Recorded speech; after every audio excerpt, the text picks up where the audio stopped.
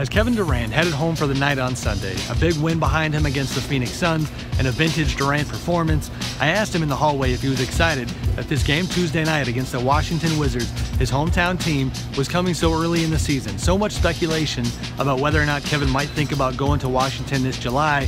This is one subplot that he's going to get out of the way early, the only trip that the Thunder have in Washington.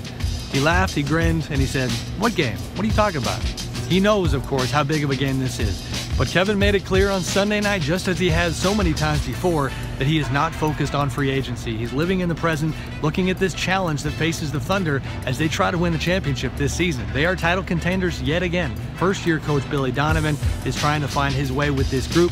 Kevin has embraced him so far. The rest of the guys trying to get comfortable. There is simply no way to know what might happen here without knowing what happens with the Thunder this season. That's why it's very believable, very substantive that he's not looking ahead to July and the reality is they are in the driver's seat. Washington is an interesting story. Might Kevin go the way of LeBron James and go home again? Might he go somewhere else? That's all for down the road. In the here and the now, the Thunder, now 4 and 3, having broken their three game losing streak with this win against the Suns, they want to be good, they want to be the best. They want to get this thing done and make sure Kevin has no reason to go anywhere.